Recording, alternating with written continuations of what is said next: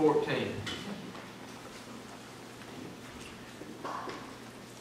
As I write unto you, little children, because your sins are forgiven for forgiving you for his name's sake. I write unto you, fathers, because you have known him that is from the beginning. I write unto you, young men, because you have overcome the wicked one. I write unto you, little children, because you have known the Father.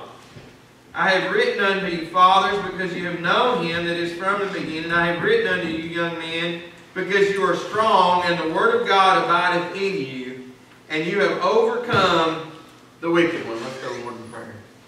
Most gracious, kind, heavenly Father, we love you. We praise you, Lord. Lord, we just pray right now, Father. God, that you would speak to our hearts. Lord, use this time in our lives, Father. I pray, God, that you would help us, Lord, to stop for just a few moments. God, and to recognize exactly where we're at.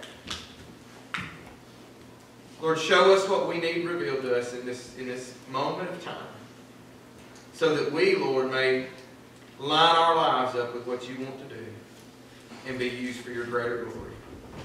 God, I pray if there's one lost here today that they be saved and that those who are saved would grow deeper because of this, this moment in time today. In Jesus' name, amen. Amen. amen. You know, as we continue to study First John, this is a, a, a, part of Scripture as you read First John where it's almost a momentary pause because we talked about how that this has been written for our joy to be full. It's been written, uh, if you look at the end of the text, that it's for uh, us to know that we're saved. So, uh, you know, John really, from, from the beginning of First John to the end of First John, God is having John to to give us ways to examine our salvation, to really put ourselves under the microscope. And here he, he stops and, and he's not just saying, you know, okay, look, at your salvation. He's saying, okay, let's, let's go with the fact that, that many of us are saved. Many of us do know Jesus Christ as Lord and Savior. And he begins to look at the spiritual maturity of believers. The spiritual maturity. See, Everything really to this point has just been that hard self-examination. Look at you, look at you, look at you. All about salvation. Uh, are you walking righteously or are you simply professing to know Jesus? Are you confessing known sin in your life? Because that's what a child of God will do. They will confess known sin to God because through that comes the forgiveness of that sin. Are you striving to obey the Word of God? Is it your genuine desire to do what God's Word says? And do you love those that love Him? We talked about that last week. Is there a genuine love for those who profess to know Jesus? And we could, considering all this, we could, we could look at a statement made by Jesus Christ up to this point that would, that would help us in our reflection of what John has already told us. It's Matthew 7 20. It says, Whereby their fruits ye shall know them. At the end of the day, the proof, the actions of your life, of my life, far outshine anything we say. I can stand up here and if God were to give me the best sermon in the world, but yet I don't attempt to flesh that out the rest of my life, the rest of my time. What I've said really doesn't matter, does it? Amen, we say talk the walk and things like that. But the evidence flowing from my life is what John is begging us to consider. What is flowing from your life, that is what John is saying. You need to consider not only what you think you have, but what you actually are demonstrating that you have. See, we need to look at everything, the entire body of work. Be willing to admit where you are. See, the thing that we just said that Jesus said in Matthew 7 20 about by their fruits you shall know them can also be applied to what we're looking at today as far as spiritual maturity is concerned. Because listen, the evidence coming out of us speaks volumes as to where we are on our journey with Christ. Right.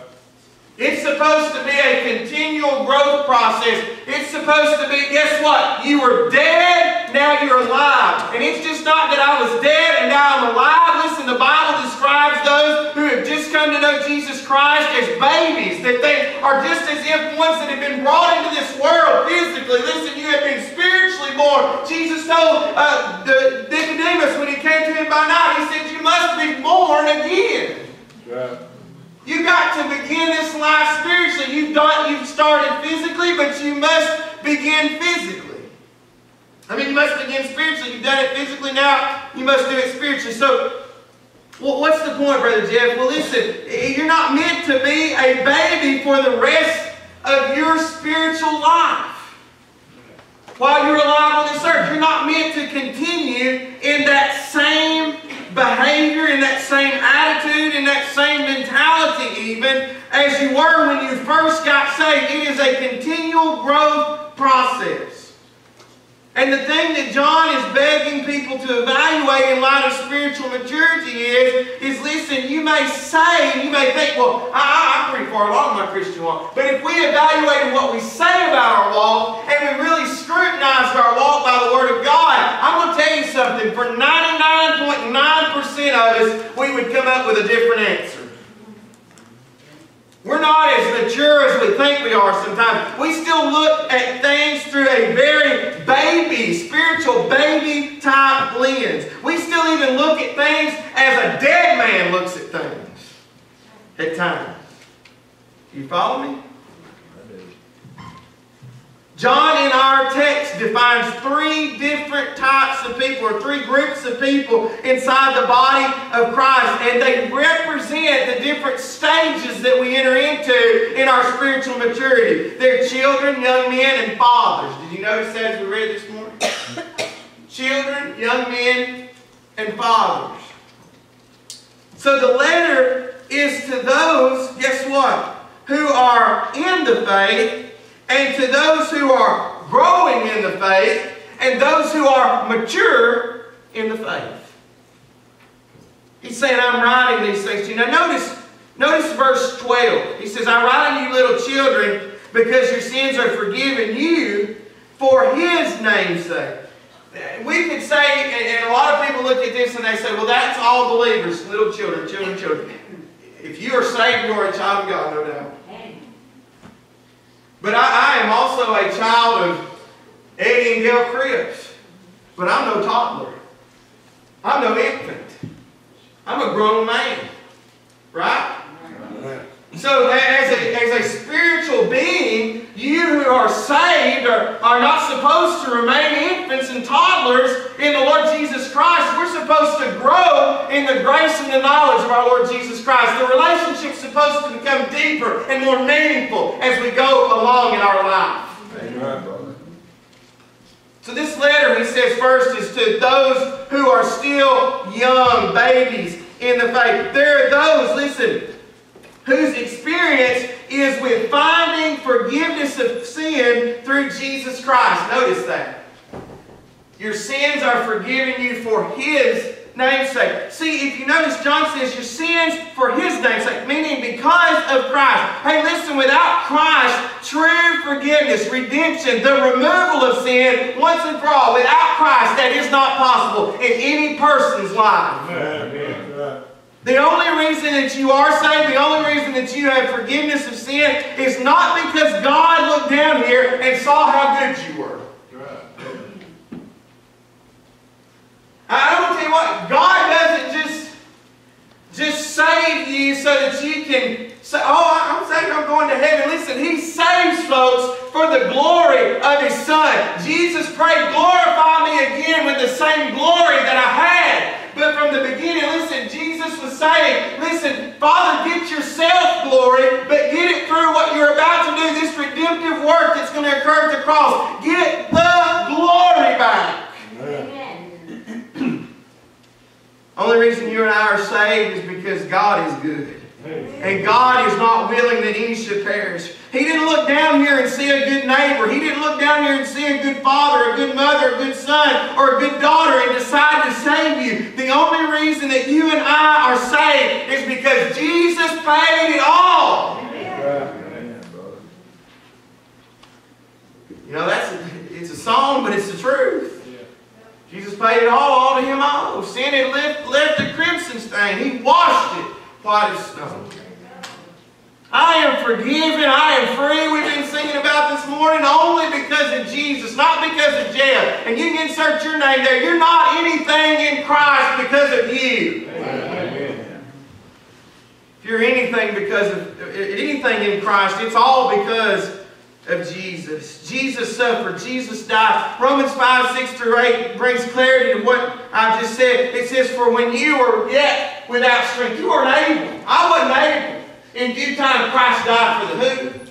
For the ungodly. Christ died for the ungodly. For scarcely for a righteous man will one die, yet peradventure for a good man son would even dare to die. But listen, but God, but God commended His love toward us, in that while we were yet sinners, Christ died for us. He died while you were still sinning. He died when He knew that you would be what you and what you've done. Yet He went to the cross and gave Himself so that you and I, hey listen, who would repent, who would say, yes, Jesus, save me, so that we could have eternal life.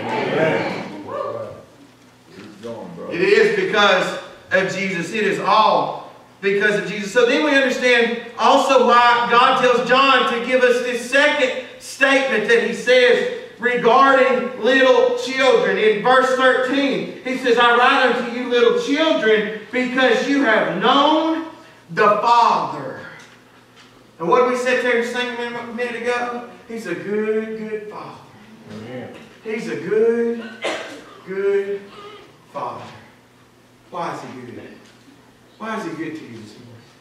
What, what, what reason, if we went around this room right now, why would you say he's good? Listen, little children, those who are new to the faith know he's good because they have experienced the forgiveness of sin. They have got to the place where they realize that apart from Christ, they're bound for a sinner's hell.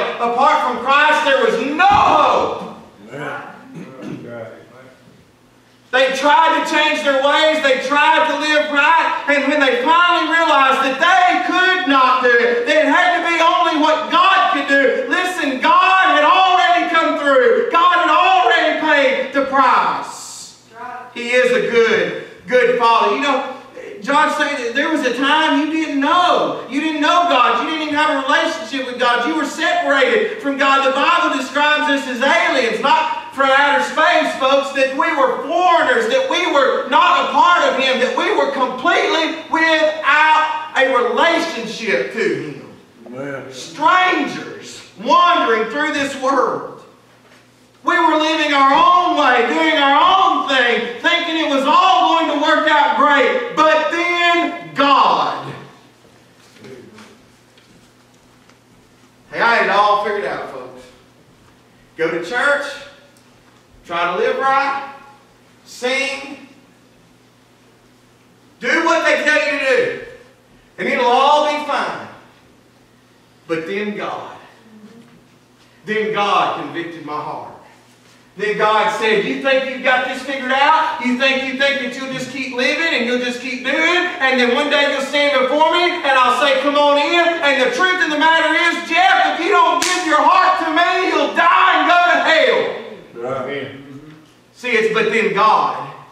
Not but then Jeff, but not, not that then Jeff said, oh, I don't think this line of thinking is going to work out. I, I'm not sure this is all going to pan out the way it should. God shook me. God said, you will not be able to enter in if you go the way you're going. He got a hold to my heart, and I had to decide whether he was right or whether I was going to try to be right.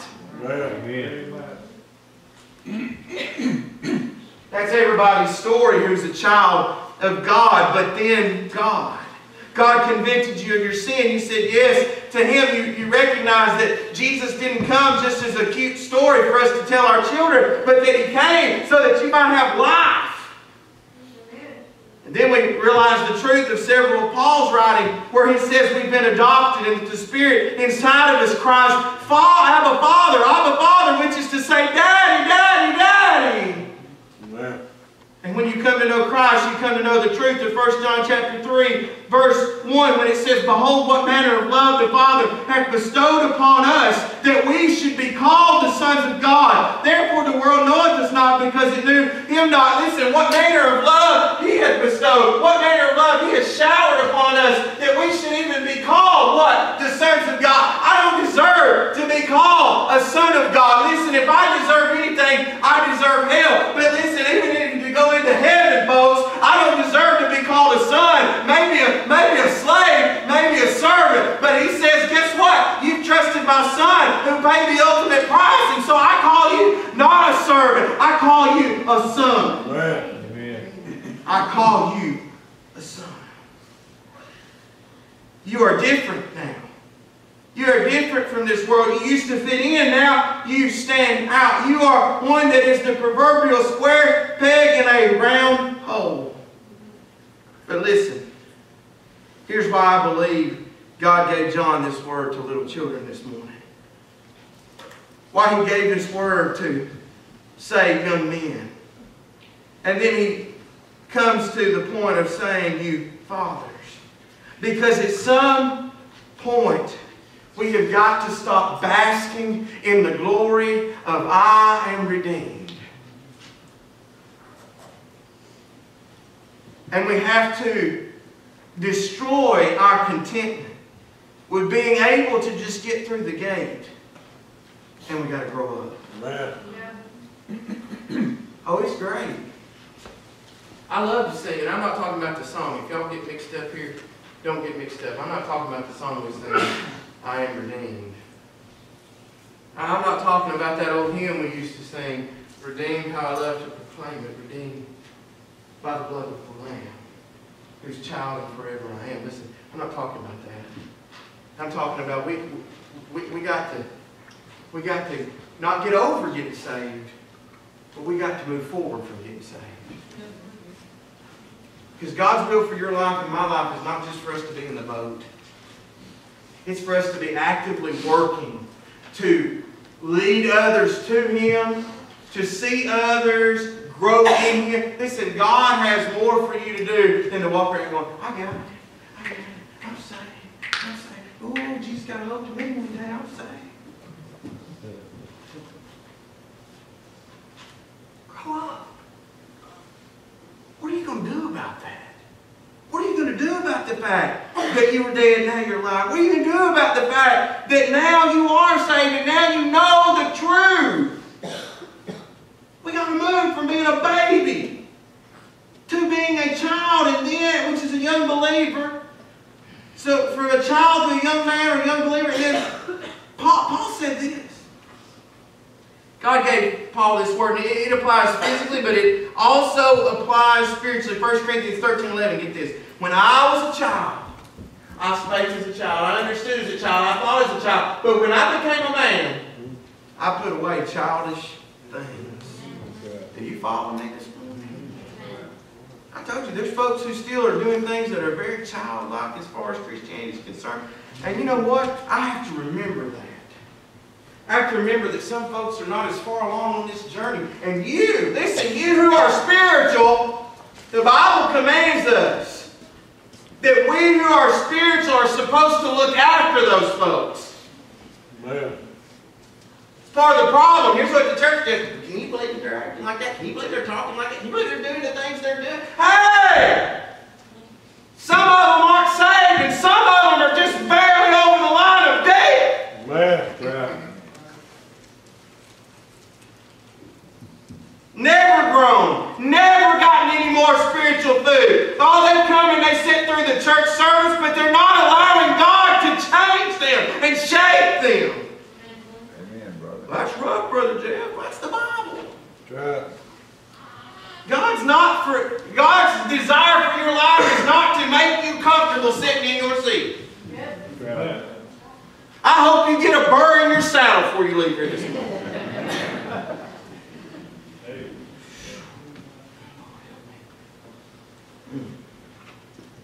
Time in the faith. Listen, time in the faith. Sometimes Christians can look at things from a very immature perspective. But their time in the faith, and I'm not talking about uh, physical age. I'm not even talking about how long you've been saved. Some people want to tell you how long they've been saved, but then you can observe behavior that says, hey, you've never grown. You've never gotten any further along. Time in the faith does not equate to spiritual maturity. Right. It's not how God says it works. I'm sorry. I've been saved for 40 years. So what? So what? Well, Brother Jeff, why would you say that? Because the reason that some folks still speak, think, and even act the way they do is they have never made growing in Christ their aim. They get in, they are saved, they are there, they're going home to be with Jesus when they die. But look how John addresses this next group. And it helps you understand why that can happen to someone. Why someone who is saved, that's it. That's it. Look what he said to this next group of people. In verses 13 and 14, he, he noted that I write unto you young men because you have overcome the wicked one. Then in verse 14, what he notes is, he says, uh, right here, because you are strong. Young men, I written to you because you're strong, and the word of God abideth in you, and you have overcome the wicked one. What? What are you talking about? See, the two, th the two things that he says to the young men there uh, in the faith, or the young people in the faith, we're not talking about teenagers, we're talking about folks who have progressed from spiritual babies, now they're spiritual young children, Okay, they're growing, they're not to adulthood, they're not to the age where they could father a child or have a child in the faith. They are only spiritual children. And the two things he says to those who are young in the faith are not independent of each other without a strong foundation. In this right here. Without a strong foundation in this right here, I want you to understand something. You will never overcome the devil. You will never withstand the enemy. You will never be able to handle the onslaughts that he will deal out. And listen, folks, here's the problem with that. You say, well, Brother Jeff, I'm, the devil, he's just constantly after me. Welcome to the club. well, then what are you talking about? Because, I mean, he's after me all the time. Hello? Hello? Do you know who the devil is? A defeated foe. You are, wa- you are warring against a being whose back was broken at the cross of Calvary. You are choosing to allow someone to torment you that the, the Bible is finished. The, the, the end has been written. This is not some fairy tale storybook that just turned out good. This is the truth from the God of heaven. And he said in the end, he will lock the enemy in the pit of hell. And he'll be there forever and ever and ever. That's all you got? Give him glory. That, that is what God has said. That he's a defeated foe. Quit letting him torment you. Oh, Brother Jeff, you really believe that? No, I believe what the Bible. And I believe that the reason some spiritual babies are struggling and shipwrecked in their faith is because they're warned against somebody that they need to say, hey, guess what? You lost. You lost. What do you mean, Brother Jeff? Colossians 2.15. And having spoiled. You ready? Having spoiled. That is through and on the cross. What happened there, okay? Having spoiled principalities and powers, he made a shoe of them openly, triumphing over them in it. I don't know about y'all, but I like to win. And what the Bible just said right there is Jesus won. Victory! But what does that mean for the opposition? Defeat. Defeat. He is absolutely a defeated foe. When we allow the devil to wreak havoc in our lives, to somehow manipulate the rules, to continue the battle, listen, we can clearly see he lost. See, the devil wants to do all he can to wreak havoc on you, to discourage you, to diminish your faith, to destroy your witness. But I read that Jesus said, All power is given unto him in heaven and on earth. And listen, if you are saying today that same power is in you, and you need to, not by the authority of Jeff, not by the authority of insert your name there, but by the authority of Jesus Christ, you need to withstand all the horrors of hell, and rebuke him in the mighty, mighty name of Jesus Christ. You tell him to get off you, to get away from you, and back to hell because he has no place and no authority over you. Brother Jeff, where do you find that at the Bible? James chapter 4, verse 7. What does it say? Resist the devil and he will flee from you. He cannot stand up to a child of God who has the faith of God, who has the word of God to stand against him. He cannot. He cannot. How you know that, Brother Jeff? Y'all just sit there I'm, I'm That was written. It was written, brother. You might be sitting there this morning going, "Ah, I'm just not there, Brother Jeff. I've just not gotten to that place. Well, let me tell you what you need to do. Dig in the Word. What did he say to the young men? You have done what? You have overcome the wicked one. Well, why have you been able to overcome the wicked one? Because you are strong and the Word of God abideth in you. The Word of God is in you. What are you saying? What are you saying, Brother Jeff?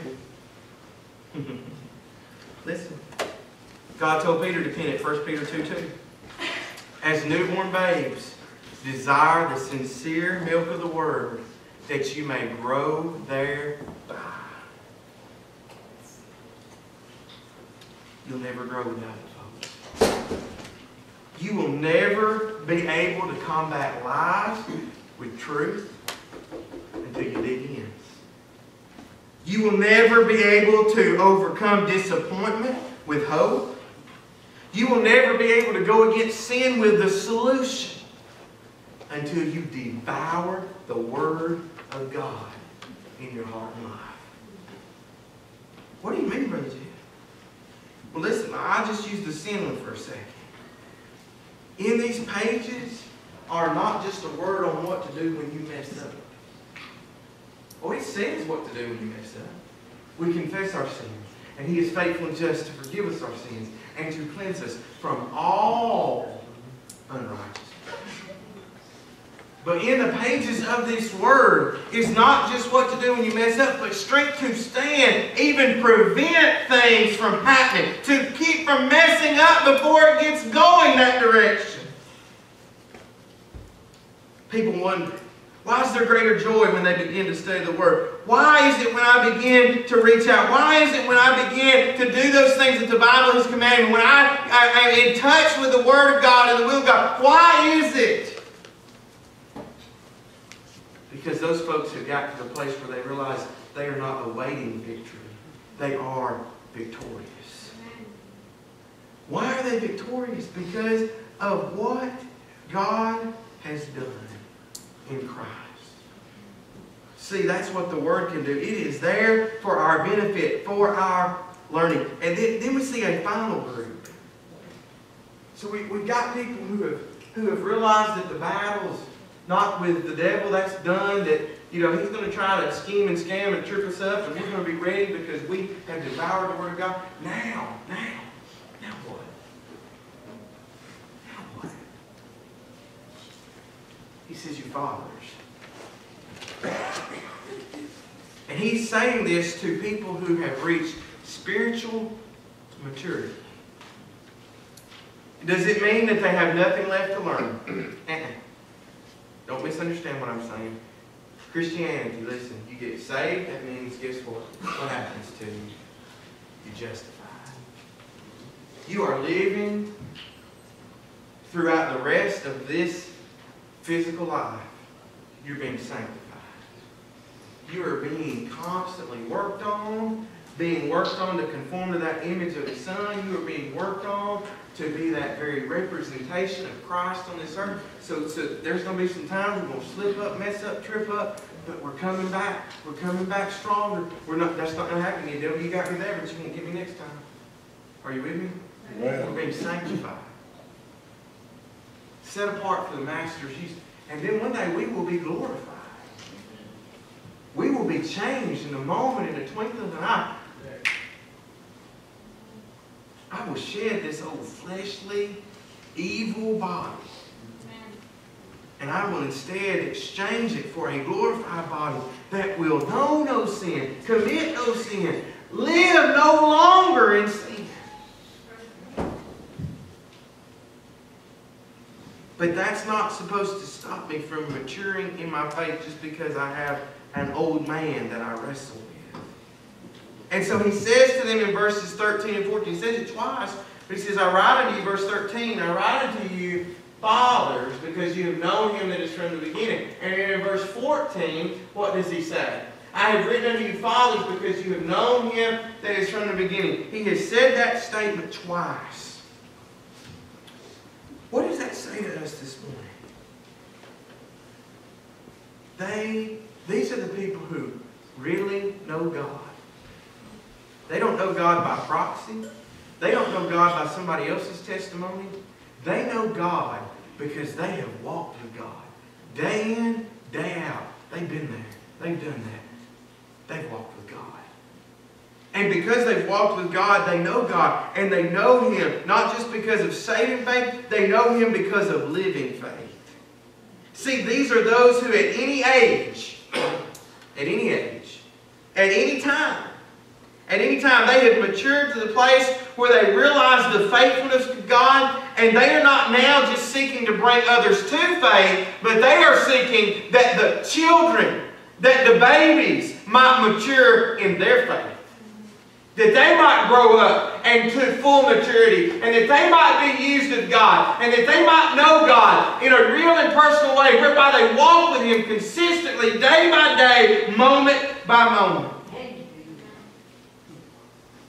They know Him not just by the saving faith, but by the living faith. How do you really know Him? Walking with Him daily through the constant communion, through uh, being with the Father, not, not just talking the talk, but walking the walk. See, statements, statements of truth flow out of the reservoir of experience from those who are fully mature. And they flow from those who are fully mature to those who are still not yet mature. Statements like this one. Philippians 1 6. Being confident of this very thing, that he hath, which hath begun a good work in you will perform it until the day of Jesus Christ. Listen, if Jesus has saved you, it will not change. He will not go back on his word. He is going to do exactly what he said he's going to do. Here's what happens, folks. Some spiritual babies, they get started and they want to go well and they want to do well, and then something happens and they trip, stumble, fall.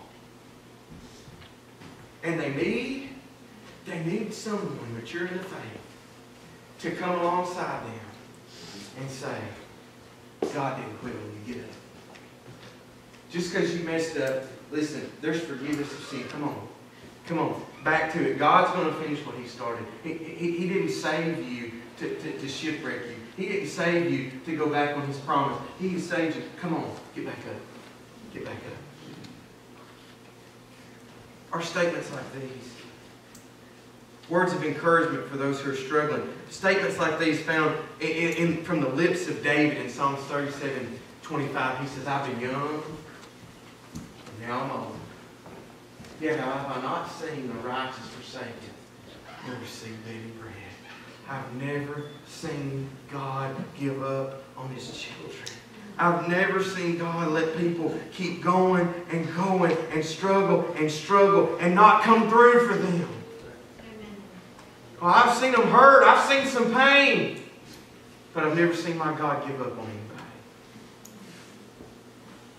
See, the heart of a father of faith is to impart the wisdom that they have learned throughout their walk. Their walk that went through the mountains.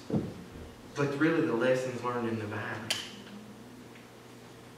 See, we have in Scripture one of the greatest examples of a father in the faith. You want to see how a father operates toward someone who's not yet mature in the faith?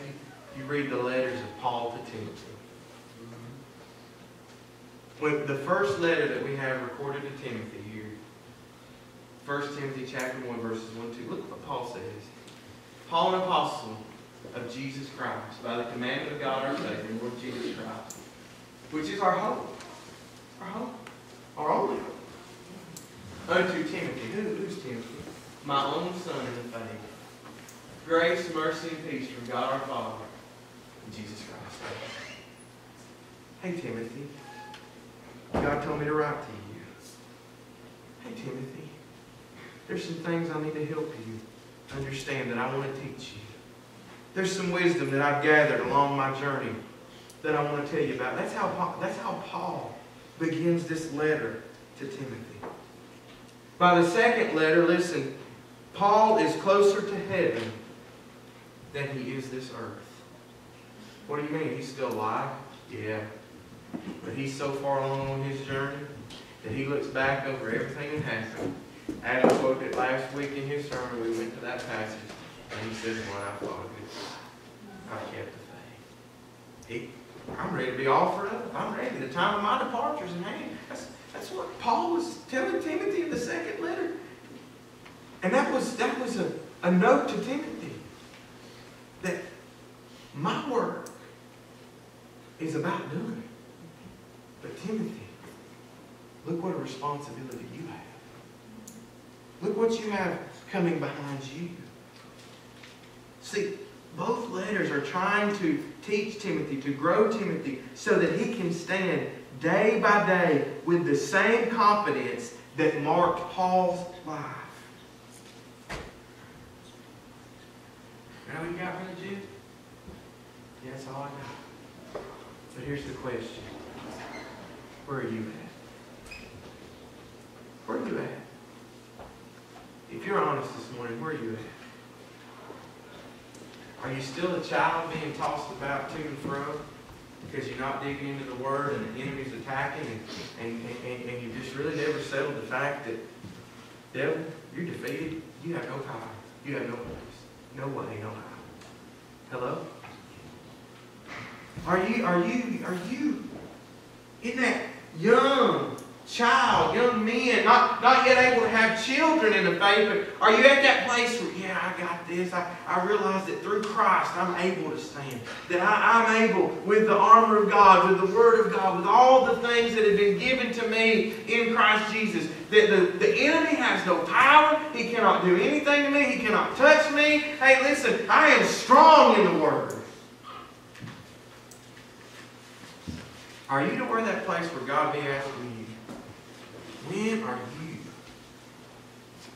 when are you going to reach down to those who are not mature and say, let me help you. Let me show you something. Let me walk with you. Let me teach you. Listen, it takes, it takes people maturing in their faith to bring others along in their faith.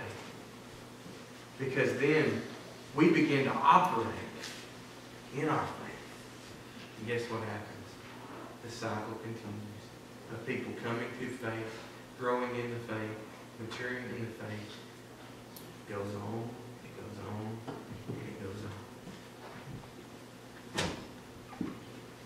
Don't let salvation be enough, folks. Don't be satisfied. Don't be satisfied. Let God have His perfect work. It'll be for your good. It'll be for His glory. Amen.